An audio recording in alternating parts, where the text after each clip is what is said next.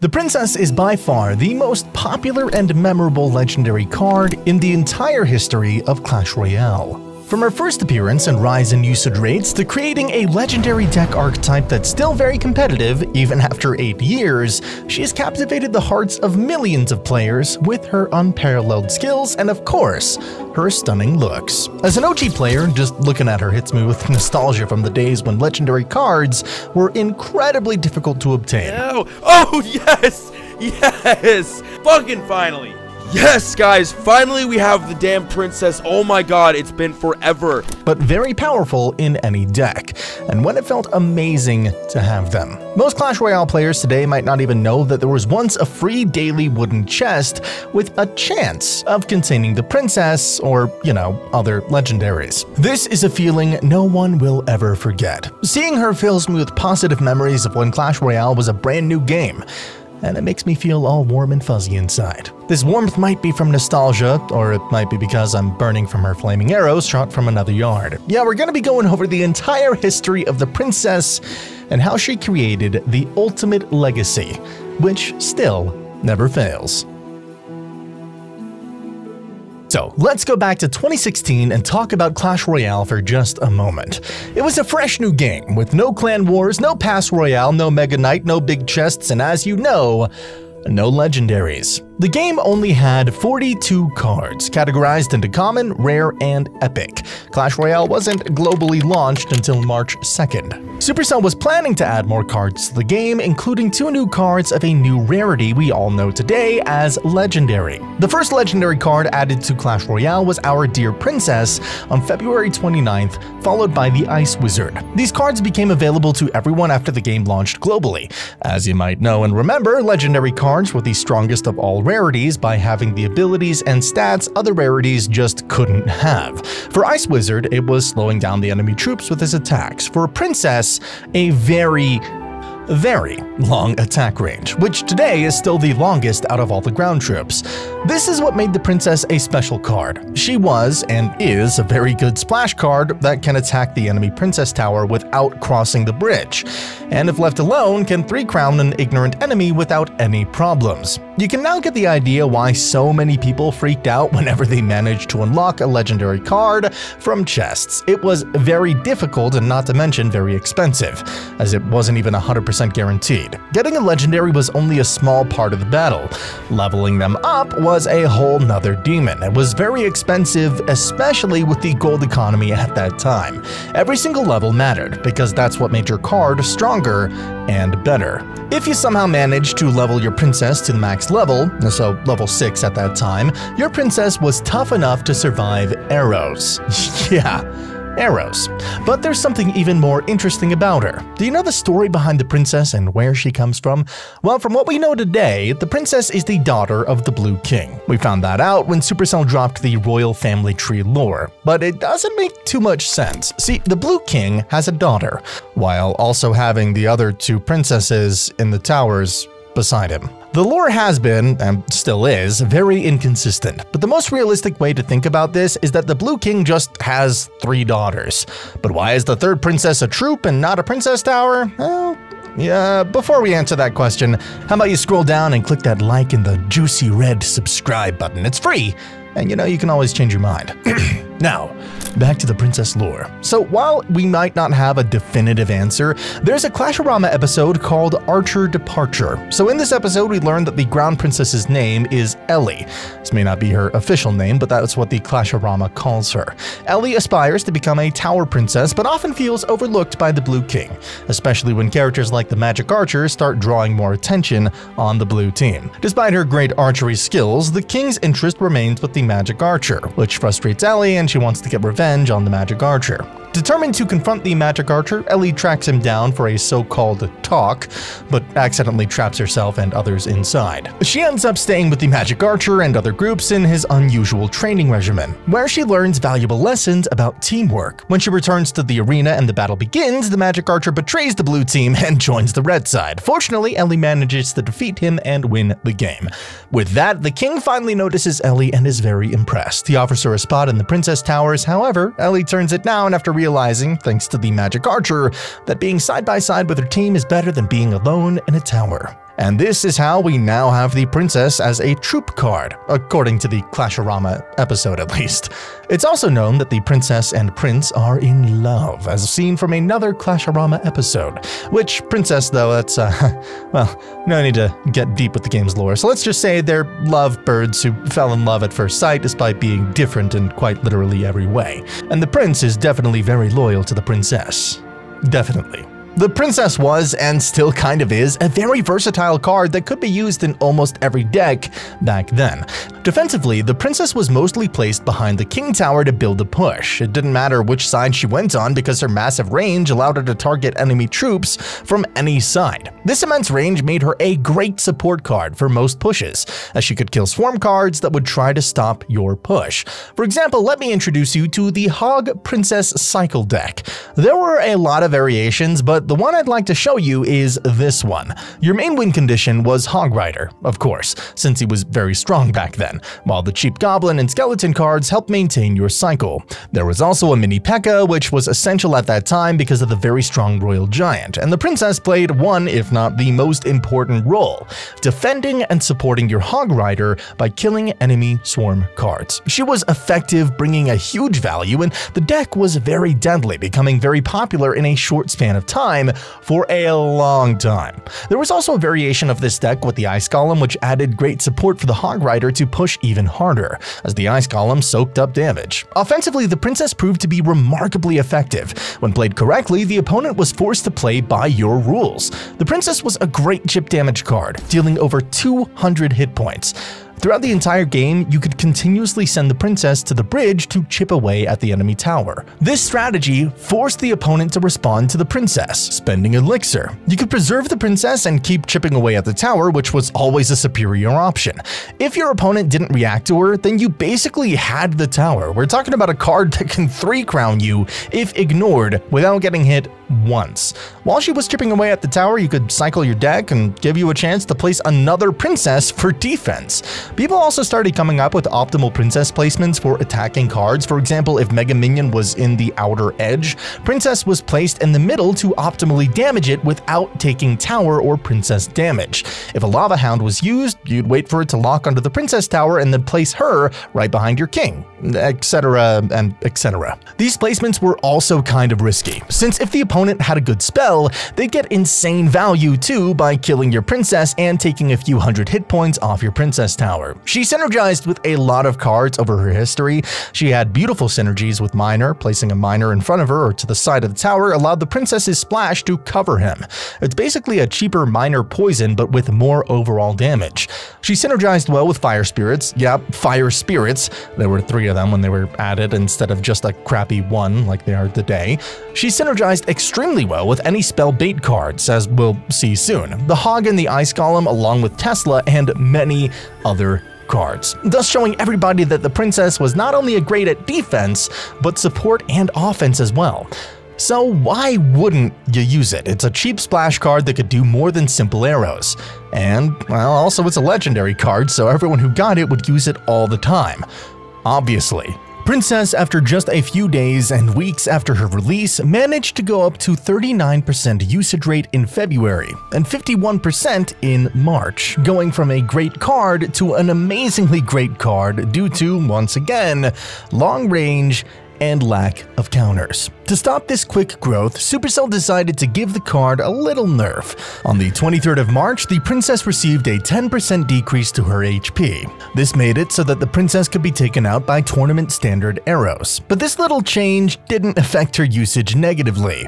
Also because she was a new legendary card everyone liked and was talking about, people still played her. And for April, the usage rate was already 65%, beating the arrows usage and becoming the number one card in the entire game. Princess was able to achieve this high of a usage rate due to her not having hard counters at all. But because she was becoming more and more used, people started using minions and also the mini P.E.K.K.A to keep her in check. And it did work to some degree, and her usage rate lowered down to 43% for May. Well, why not the log? Well, because the log didn't exist back then. Duh. Also, fun fact, a level 6 princess did not die to arrows, and some players were mad. about this. May was also when Supercell decided to decrease the legendary card cap from 6 to 5, and apparently Princess's range was bugged out, allowing her range to be 9.5 tiles. 9.5. So they also fixed this bug in May.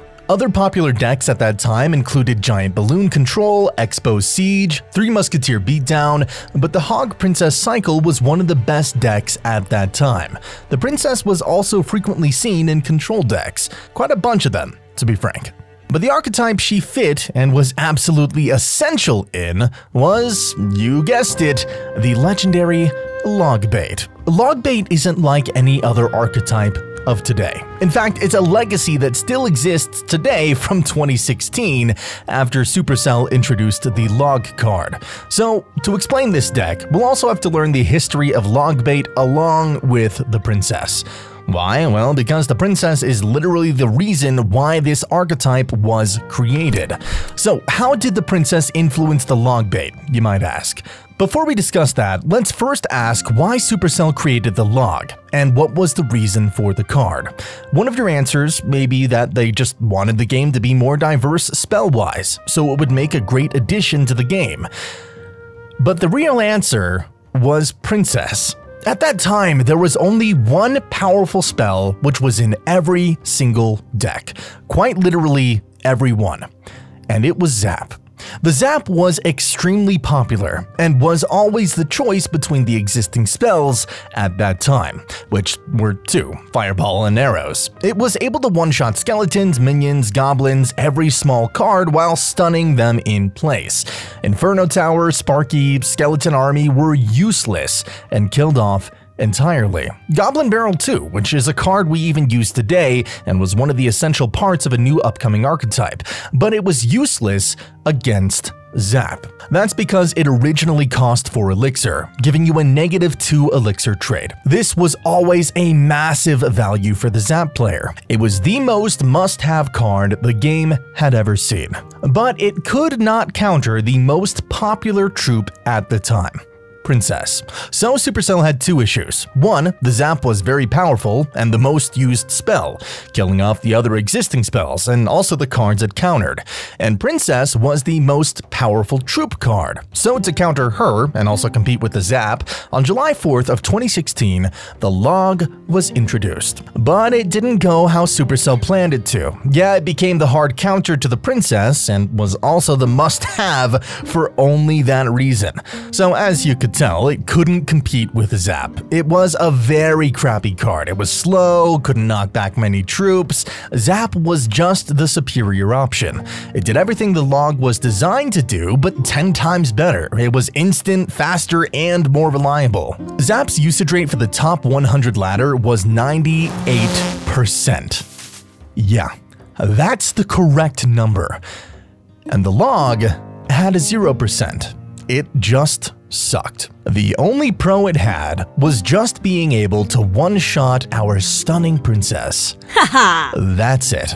So, for July, her usage rate was 52%. It dropped a teeny bit after the log was introduced, so no big deal, and it was able to achieve 60% again in August. Because the log was used by ghost people, the princess players weren't afraid to use her at all. People sensed a nerf for a few months after her existence in Clash Royale, and Supercell decided to step in and nerf her on August 24th. The princess got her splash radius nerfed from 2.5 tiles to 2. To put this into perspective, her splash damage went from that of a fireball to that of a rocket. And this was a big change. A very big change. She wasn't able to hit fast-moving troops like goblins anymore, which made her sorta useless against those encounters.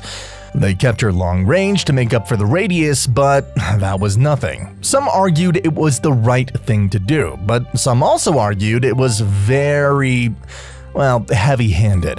And I'm siding with the opposite side. It was a little overkill. This led to many interactions and pushes that were no longer possible due to the nerf. Her usage rate dropped to 29% overnight after the nerf was applied, and in a few days it fell to 17%, which was a significant decline. This raises the question, what else could they have done to balance out the princess? One option could have been to buff her counters, and they eventually did buff the log in the near future, which we will discuss shortly.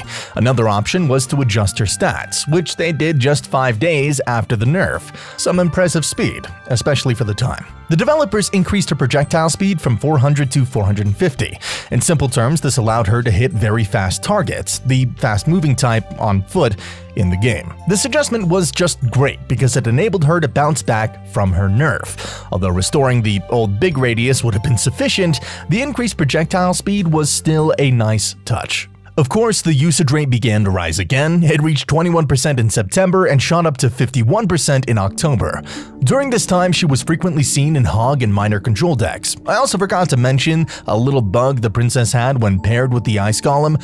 For some reason, if your princess was with your Ice Golem and the Ice Golem died to arrows, his Death Nova would make the princess invincible for that moment. This was a clutch bug for the princess, but it was patched soon after without any mention of it. Uh, who knows what kind of changes Supercell makes behind the scenes? We may never know. Even though the princess became popular again in October, it was also the time when Golem Beatdown became meta. Ice Golem 2 became the best card in the game at around this time. Uh, consequently, princess decks fell off entirely since they were completely unusable against golems. Her usage rate plummeted to 8% and remained around 7% for the rest of the year. How about that splash damage? Was it not useful? Well, not at all for this case. Arrows managed to do a better job at it, but don't worry, things were just getting started. Returning to our log bait history, the log was added, but it initially paled in comparison to Zap. So Supercell made the right move by nerfing Zap and buffing the log to promote diversity in spells and balance the game. The buffed log was superior to today's log in every way. It dealt more damage, had more range, and provided greater pushback. Despite all this, the Zap still remained the superior option with a 77% usage rate. The log managed to climb to 29% usage, and these stats are all from January of 2017. In the same month, the Dart Goblin was added. It could survive a zap but died to the log, giving the log even more of a purpose. Players compared the Dart Goblin to the Princess, with opinions split on which was better depending on the context. The Princess was always used for long-ranged, consistent attacks without getting shot by the Princess Tower, while the Dart Goblin was a quick sniping card that could deal more damage but died to the Princess Tower. The Princess remained the superior option for most players due to her longer range. However, the Dart Goblin was sometimes used in decks that also included the Princess, as a free-to-play variant for players who didn't spend money on the game, didn't get lucky with free wooden chests, or just didn't have the Princess. Although the Dart Goblin's damage wasn't as close to the Princess's, it still worked about 40% of the time. Eh, probably. His usage rate sucked and was at 2% while the Princess hit rock bottom with a 3% usage rate. Yikes. There was also Magic Archer in 2018 that people compared the Princess to, but they just weren't the same. The three served different purposes. I'll read you one quote from a Reddit post which has the complete princess guide written for 2018. Quote, The princess is the best of the three for AoE and baiting spells, as well as being one of the best for defense. The Dart Goblin is the best for sniping buildings, as he has the highest DPS of the three, as well as quickly melting mini tanks or glass cannons. The Magic Archer is the best for taking down pushes and shooting the tower with his piercing arrow. The Princess is unique because unlike Magic Archer and Dart Gob, although both tower Creeper in the sense that both are better for taking out minions, which is supposed to be her job, the Princess is the only one that demands a response. But with Princess, it's super difficult to kite her, because she locks on almost instantly, within two steps of deploying. With Hog and Mini P.E.K.K.A, you have time to react.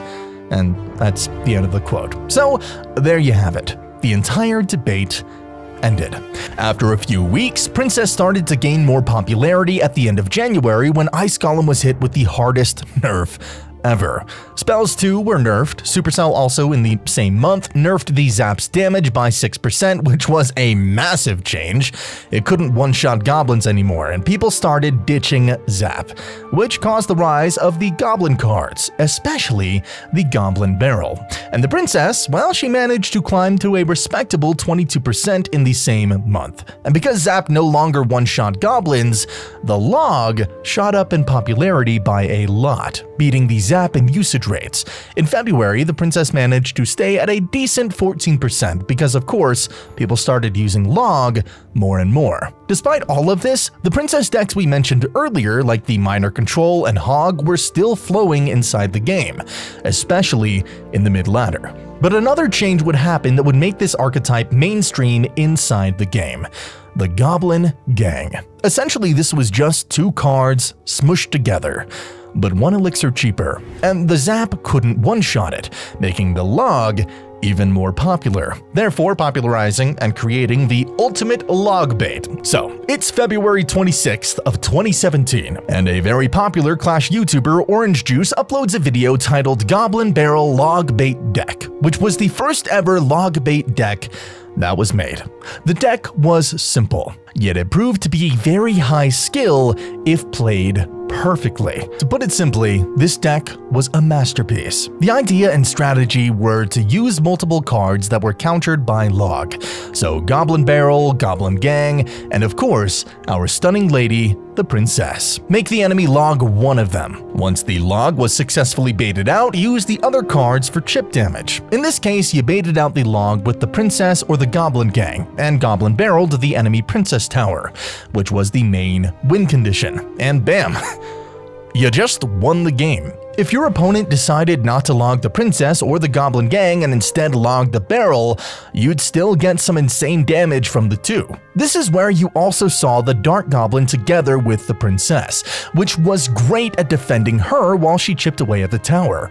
But there was also one variation with the rocket, which was equally as deadly if not more. Once you got the enemy Princess Tower down to rocket damage range, you had the entire game in your bag. After OJ's video dropped, the log bait immediately boosted the popularity of the princess, getting her back on high numbers, and by the end of February and middle of March, her usage rate was at 36% in the top 200 players. It should also be noted that the log had a placement bug and also received a nerf, but that didn't stop it from being the best card in the game, maintaining a robust 57% usage in the top 200 ladder plays. Many variants were created during this time. One notable variant was the Miner Bait deck, which managed to win 8 grand challenges in a row, with 5 of them being 12-0 victories. That's pretty dang impressive. No arguing that. The Logbait archetype quickly became the number one deck in the entire game. Supercell had to intervene somehow, so they buffed the bats, making Zap necessary again, which in turn dropped the log's usage. However, the princess could easily eliminate bats as if they were nothing. Players began switching the Inferno Tower with Tornado due to its versatility. Tesla also received a rework, making it a viable card in the meta and probably the best building for Logbait. The Logbait archetype remained popular and number one in Clash Royale for three months straight, with no fluctuations. In August and September, the Princess managed to maintain a 22% usage rate in the top 100 ladder plays, which is still very impressive. However, Supercell was not happy about one deck dominating the entire game, so they started planning to balance the game better. In December, they decided to nerf several cards Goblin Gang, Goblin Barrel, Log, Inferno Tower, Knight, and Rocket.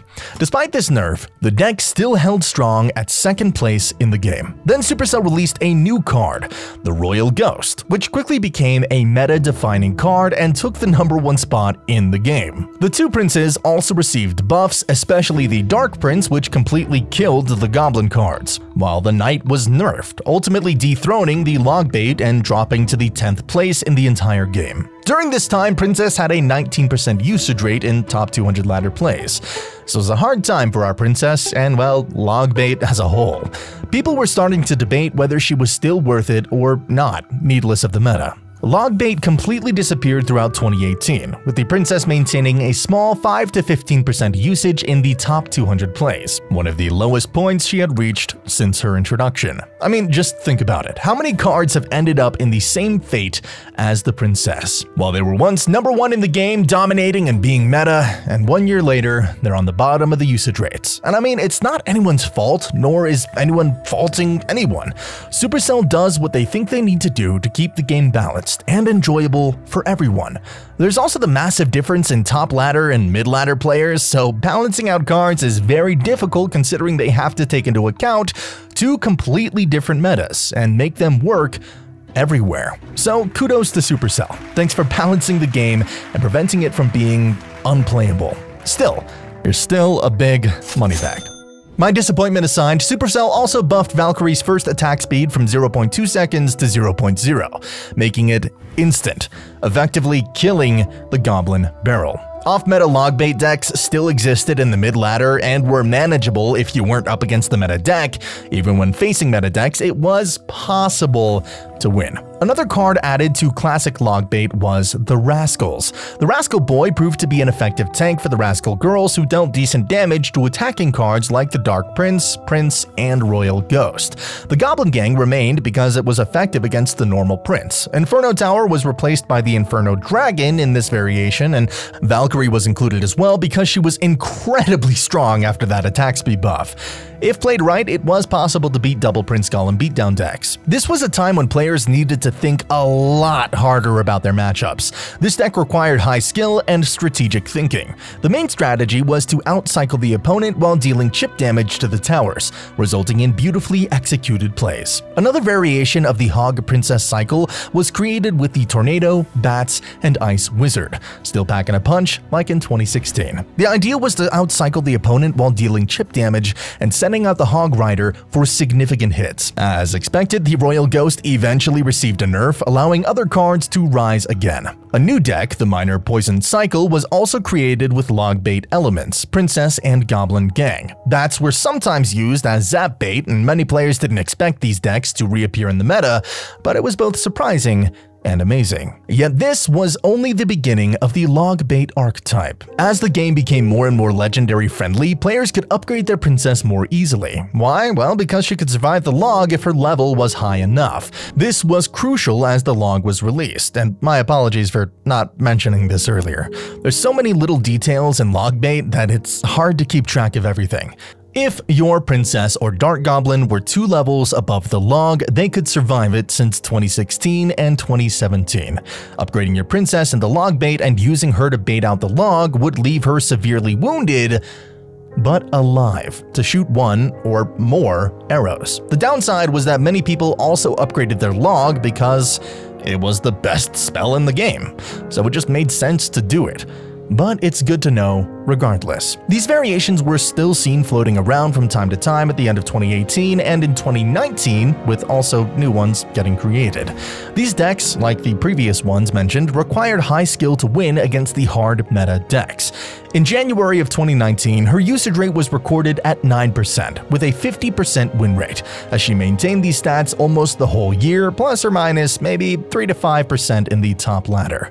However, in May's balance change, Supercell increased her projectile speed from 450 to 600, making her arrows travel faster. That faster projectile speed made the princess even more effective against fast-moving targets, making her a stronger counter against various decks at that time. As a result, the princess's usage rate increased as players found her more viable in different strategies. The log bait decks, which relied on baiting out defensive cards, like the log, had to adapt to the improved princess's faster arrows. This led to changes in deck compositions and strategies, but as far as interactions go, nothing big really changed. One could also say that the meta became more more balanced as the princess became a more competitive card, reducing the dominance of certain decks and allowing for a wider variety of viable strategies. As for decks, we got a new variation of the Hog Princess Cycle deck, which still required a lot of skill to play and master.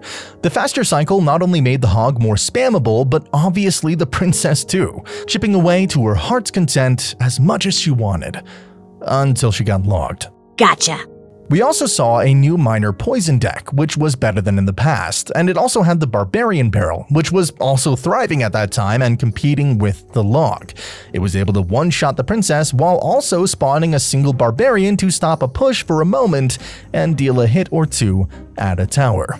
Only one card disappeared from Princess's decks, and it was Tornado. The Tornado was reworked and so it no longer really fit the deck anymore, its place was taken back by the Inferno Tower, as you saw from the Miner poison deck I showed you just a minute ago. But interestingly in 2020, the meta would change and it boosted the popularity of the Logbait decks once again. The already existing decks saw some decent usage, one of the best ones being the classic Logbait with Goblin Gang and Princess, but also with Tesla, which was very powerful back then. Hog Cycle decks began to see a rise again but arguably the number one princess and bait deck at that time was the princess bait deck that included the royal hogs. Royal Hogs at that time were very decent and powerful. The card was like a sleeper card, which didn't seem to be good, but they were very powerful with a good deck, and so they found a place inside the Princess's Bait deck. Later on, another card was added to Logbait, the Skeleton Barrel. Skeleton Barrel acted like another bait card added next to the Goblin Barrel, Goblin Gang, and Princess, and I don't think I need to explain why this card in this deck was so good. Skeleton Barrel made Logbait very popular yet again again. And if they played correctly, it was even able to beat Golem Beatdown. I know, insane, but not impossible. In January and February, the usage rates for Princess were about 7 to 10% in top ladder, which is a very healthy state. But in February, another card would be added that would compete with our Princess, the Firecracker. When the Firecracker was released, she was incredibly overpowered. Her recoil was much bigger, allowing her to counter the bowler without taking a hit and effortlessly kite the P.E.K.K.A. across the arena. Many players started switching to the Firecracker because of her broken knockback, which promoted more defensive plays while also being able to kill swarms and have more chances to survive with troops than the Princess. The main argument was Princess is used only in logbait decks, and Firecracker, well, she can be used elsewhere which is a fair point. The princess was considered the worst legendary card outside of logbait decks. Although the princess had a lot of value on her own, she was best in logbait, while the firecracker seemed to work everywhere else. Despite firecracker being considered just better than the princess, princess still managed to maintain a steady usage rate of 7 to 10%, just like before. They were two very different cards with very different rules. The princess's massive range was something that many couldn't give up, despite firecracker Firecracker's broken knockback. Also, the Firecracker's attacks sometimes activated the enemy King Tower, which was annoying for the user. That is not something you want to happen to you, so the Princess was better in that way too. Take that, Firecracker. Logbait continued to be a great deck, averaging between 6 to 10% usage for the rest of the year. The popular decks at this time were Logbait variants, Princess Baits, Hog Cycles, and the same decks that had been trending in the game since 2016. However, there was a card rework that brought devastation to Logbait, and some could say it was the end. In June, Supercell decided to rework Fire Spirits into a single Fire Spirit. The Fire Spirits provided too much value, greater than the Fireball for two less elixir. To make it still viable, they buffed its range and made it one elixir, which was overkill for logbait decks. It could entirely counter the Goblin Gang in the Goblin Barrel without taking a single hit. You didn't even have to think about placing the Fire Spirit in the right place because its big range would hit all three anyway. Because it was just one elixir, it was seen in many, many decks. Logbait failed to succeed during this time and its usage rate dropped significantly. The Princess's usage in June dropped to 5%, and it presumably could have reached 3% in July. She was considered the worst legendary card ever in the entire game, marking the worst era for our beloved princess and for logbait. Despite this, the princess kept being used for her massive range. Many players kept her alive from enemy troops just to score extra chip damage, which was always worth it. Although she was the worst legendary card and the hardest to play in the meta, she still required high skill to play. This is where I'd like to introduce you to Yusuf. Yusuf was considered the world's best Hog Princess player of all time, and that title wasn't just for show. The Hog Princess deck always required high skill to play and win, and was hard to play the princess in this meta. He proved that keeping the princess alive during matches was very game-changing. He always managed to win Grand Challenge after Grand Challenge and pushed for the top in the ladder. However, a deck would soon take over Clash Royale entirely and include our little princess the Royal Ghost deck. The reason this deck took over Clash Royale was pretty simple. It was very powerful.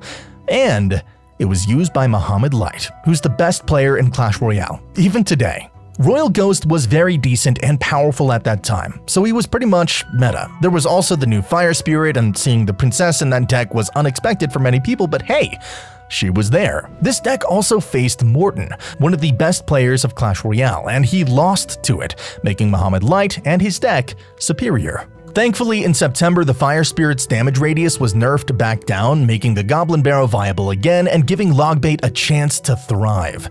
However, the snowball was buffed, allowing it to knock back troops even further, which completely countered the Goblin Barrel. In 2021, champions were added to the game, reshaping the meta, but despite this, the princess remained useful, especially against swarms and the Skeleton King's skeletons. Her usage in December was still decent, reaching 10%, which was impressive given the challenging meta, but her win rates were considered low. I mean, it was below 50, and it only started to decline. And with her still not dying, neither was Logbait, despite the harsh updates. And I think that this is the perfect time to talk about another player who was still considered to be the best Logbait player in the entire game Ryley. Ryley started his YouTube journey in May of 2021, and his skills caught many players' attention, including mine. He claimed top spots a lot of times with just Logbait. He finished 33rd in the world with Logbait in November of 2021. In May of 2022, he finished 12th in the world with the Mighty Miner variant. Eventually, he kept going up and up and up, becoming the 4th in the world, top 3, and this year, he won the number 1 spot in the world. And to top it off, he qualified for the 2024 World Finals, which is big news for him. I recommend checking out his channel if you want to learn more about Logbait. Uh, links down in the description. Now, in 2022, Phoenix and Monk were added, and they completely ducked over the meta with an F. So while it's hard to really track how Logbait was doing, it's safe to say that it didn't live during this time. In December, the Rage spell was able to do splash damage, and it was able to one-shot goblins, causing more problems for Logbait, but it was quickly changed so it wouldn't. What's more interesting is that the Mighty Miner would find his way into the Logbait archetype because he got buffed, and he was the first ever champion seen in Logbait, and he synergized extremely well. But his stay would not be long, because he got emergency nerfed almost immediately. Princess was slowly dying, and it was very noticeable. Her usage rate remained at a consistent 7% for the entire year, with her win rates below 40%, which was very bad for a legendary card. The things she did were impressive in 2016 and very useful, but in 2022, common cards and champions with new abilities made her less relevant. How could she even be considered the greatest legendary when she was clearly falling off in 2022? The problem wasn't that the card was bad. The problem was the meta. The new cards were too strong, creating powerful decks that older cards, including the Princess, just couldn't compete with. Her usage rate and win rates kept declining over time. In July, she managed to jump down to 2% usage. So, what could Supercell do? Enter Evolutions. Uh, in August, new card evolutions were announced to make common and old cards stronger and more used in modern Clash Royale. And it kinda worked. The best card for Logbait was the Evo Knight, who was extremely strong for a long time. His massive health allowed him to tank a lot of damage for the princess while clearing through and killing enemy troops and dealing multiple hits to the tower, with the princess chipping away from the bridge. This brought the glory back to Logbait for a while and things would have been going better for the princess and Logbait if not for the pure annoyance of the little prince. Another reason to make me want to punch him in the face even harder. For December, her usage rate was 3% with a 35% win rate, which I don't think I have to tell you is extremely low. Then something big would also happen towards the end of 2023 that would change the game forever. So, you know how Clash Royale matches were always having a king and two princesses defending? Well, now you can swap those princesses out for other troops, which was a very unexpected update. The first ever tower troop was the princess. Obviously, with the Cannoneer coming next and competing with her. He was introduced as the new Tower Troop in January of 2024, replacing the Tower Princess. The Cannoneer brought a unique dynamic to the game with his powerful cannon attacks, instead of just regular arrows. Also, a fun lore drop, the Cannoneer is the cousin of the Red King, which is officially proved by the game devs with the royal family tree. Now for the question, which tower troops were better? Well, it kinda depends. The Princess Tower is the same as she was in the entire game's history. Cannoneer does more damage per shot, just with a longer interval between shots. Objectively, there were answers, but it mostly depends on the meta which tower troop was better. But Cannoneer didn't do much to Logbait. It was another tower troop, the Dagger Duchess, that would effectively kill the Logbait almost instantly. The Dagger Duchess was released on April 1st, and she was the most powerful tower troop bar none. Her usage rate skyrocketed to 80% in a few days. Part of the reason as to why is because she was released for free, and she was the number one card in the game. The Princess Tower Troop fell down to 18% usage rate, with horrible win rates. Dagger Duchess was able to kill the Goblin Barrel and other swarm cards instantly due to her fast attack speed, so Logbait was completely useless with her in the meta. But the Duchess wasn't able to kill our princess because of her long range, so her popularity was skyrocketing. In May, she was finally able to go above two digits again and reached 15% usage rate with a 51% win rate, which was a massive change. Mohamed Light crafted a deck with literally no win condition, yet it was regarded as the best deck of its time. This crazy combination included the Princess, Evo Skellies, Little Prince, Rocket, Evo Tesla, and solid defensive cards like the Knight and Electro Spirit. Thanks to the Princess and the Rocket, it was effortless to chip away at the opponent's tower, effectively functioning as win conditions. With Evo Skellies, Evo Tesla, the Little Prince, and the Knight for defense, it was a breeze to hold off attacks. It's no surprise that Mohamed Light has been dominating with this very deck archetype. Soon enough, the Nerf hammer struck the Dagger Duchess, causing her usage rate to plummet finally. However, this shift had a ripple effect, causing the princess to lose some of her spotlight as she was no longer the top choice among the elite players. In June, another change would be made the Goblin Barrel Evolution Revolution. This evolution made it so that there were two barrels thrown instead of one, and only one of them is real. The second is a decoy. This made predicting the barrel much harder for the enemy, and it's safe to say that it brought back logbait decks in the meta, which is still popular to this day.